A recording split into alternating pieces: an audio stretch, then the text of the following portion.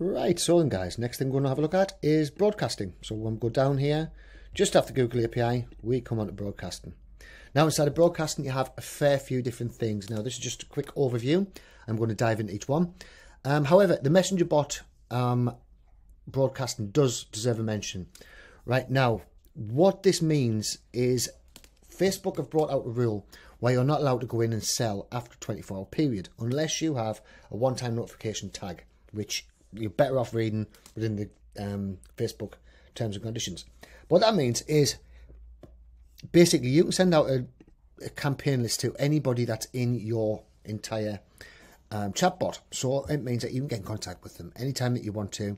You can choose a date and everything else. Now, you also have exactly the same for SMS broadcasting, email broadcasting, and SMS um, sequence campaign for external contacts. So let's make a new video and dive into each of these.